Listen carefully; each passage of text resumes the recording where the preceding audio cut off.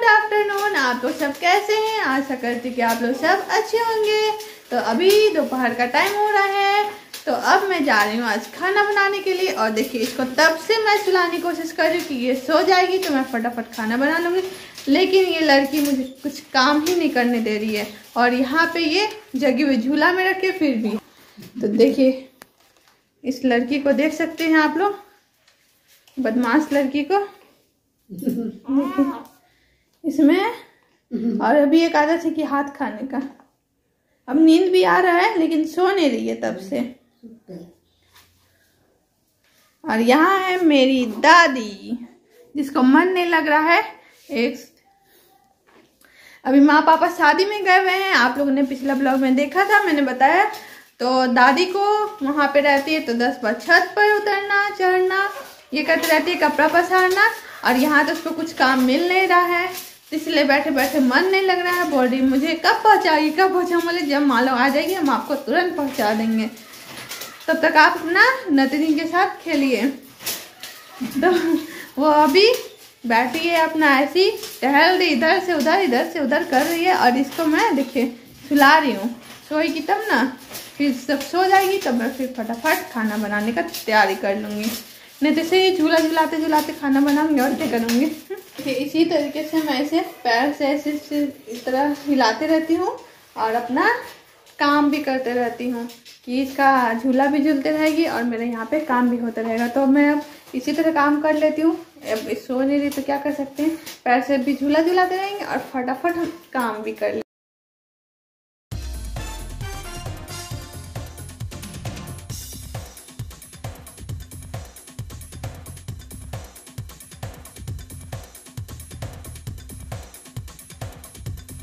दो मिनट सिर्फ़ सोई और तब तक मैं फटाफट बर्तन धो ली और देखिए इसका सुबह हो गया। मतलब दो मिनट सोना है, बस।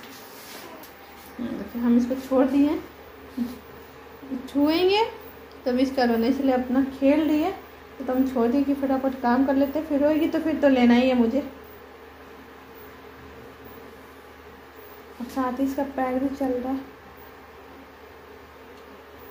तो मेरा तब तक चावल बन गया। हम बोले तब तक चावल चढ़ाते थे और अभी यहाँ हम बना रहे आज टाटा का ची इसे सोजन भी बोला जाता है। बहुत सारे लोग बहुत तरह के बोलते हैं। आप लोग क्या बोलते हैं? कमेंट करके ज़रूर बताइएगा हमें। तो यहाँ पे हम इसी का सब्ज़ी बना रहे हैं। तेल हमारा गर्म हो रहा है।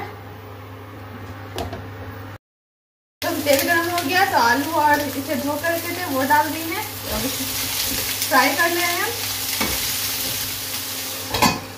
इसे हम ढक ढक करके पकाएँगे। इसे हम बीच बीच में चलाते रहेंगे, जिससे कि हमारा लगे नहीं। यहाँ मेरा लाल हो चुका है, और बगल में आप मुझे देख सकते हैं, मैं एक हाथ से झूला भी झुला रही हूँ। तब से बदमाशी की हुई है, और मेरा यहाँ सब्ज़ी भी बन रहा है। तो यहाँ मेरा लाल हो चुका है तो हम इसे निकाल देते हैं फटाफट। इंडक्शन बंद करके, इसे हमारा लगे नहीं। ठीक, एक हाथ से निकाल देना इसी तरह मुझे काम मैनेज करना पड़ता है। एक हाथ से झूला भी झूलाओ और एक हाथ से काम भी करो। तो ये तो मेरा हाथ से हो नहीं रहा है जैसे मैं तो, तो पैर से झुला लेती हूँ और फटाफट इसे निकाल देती हूँ।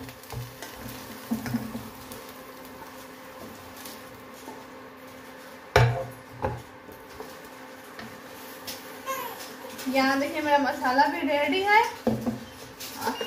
अब हम मसाला में सब्ज़ी डाल चुके थे, ज़्यादा कुछ नहीं उसमें। दो प्याज, थोड़ा सा लहसुन और सरसों, बस इतना ही कुछ है। तो यहाँ हमने तेल गरम होने के लिए रख दिया है। तो यहाँ देखिए मेरा तेल गरम हो चुका है तो हम इसमें डाल रहे हैं थोड़ा सा जीरा। जीरा को मैंने यहाँ पे डाल दिया है। तो जब ये लाल हो जाएगा तो हम डाल देंगे इसमें मसाला।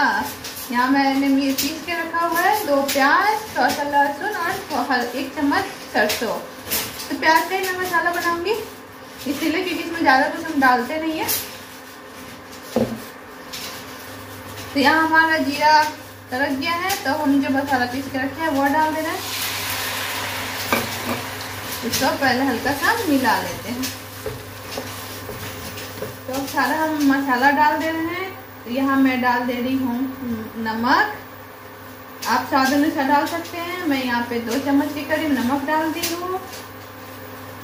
हाफ़ स्पून हल्दी। और ये मैं थोड़ा सा डाल दे रही हूँ। ये है जीरा, धनिया सबका एक चम्मच और दो बस। और मैं कुछ मसाला नहीं डालूँगी। साथ ही मैंने यहाँ पे टमाटर कटिंग करके रख लिया है। वो डाल दे रहे हैं। और सबको अब हम कर देंगे मिक्स। तो हमारा मसाला फ्राई होगा।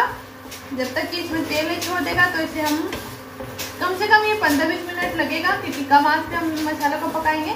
क्योंकि जितना धीमे आँच का मसाला पकाएँगे, उतना ज़्यादा टेस्टी लगता है मसाला हमारा। और खाने में भी सब्ज़ी बहुत ज़्यादा ही स्वादिष्ट होता है। तो हम इसे भूजते हैं। तो हम पाँच मिनट के बाद फिर आप लोग को दिखाएँगे कि हमारा मसाला भूजते भूजते कैसे हुआ है। तो इसे हम बीच बीच में चलाते रहेंगे, जिससे कि हमारा मसाला लगेगा नहीं। तो हम इसे चला रहे हैं और ढक करके इस मसाला को पकाएँगे, कि जिससे हमारा जल्दी हो जाएगा मसाला। यहाँ मेरा मसाला फ्राई हो गया था तो हमने जो सराबी इसको भूज करके रखा था सोजन को, उसे डाल दिया है। अब हम इसमें डाल देंगे पानी। पानी इसमें हम इतना डालेंगे, क्योंकि हम में ग्रेवी थोड़ा पतला रखना चावल में खाने के लिए तो थोड़ा हम ज़्यादा करके पानी डालेंगे, क्योंकि इसमें आलू व ग्रेवी सीजेगा, ढक करके फिर इसे हम पकाएँगे पंद्रह बीस मिनट तक।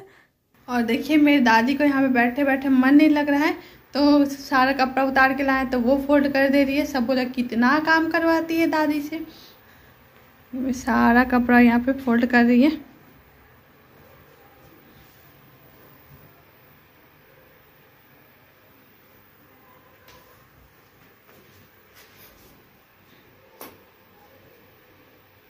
और हमारा सब्ज़ी बन करके रेडी हो चुका है। बहुत ही ज़्यादा शानदार टेस्टी है। तो चलिए अभी खा करके बताएँगे कि कैसा बना है।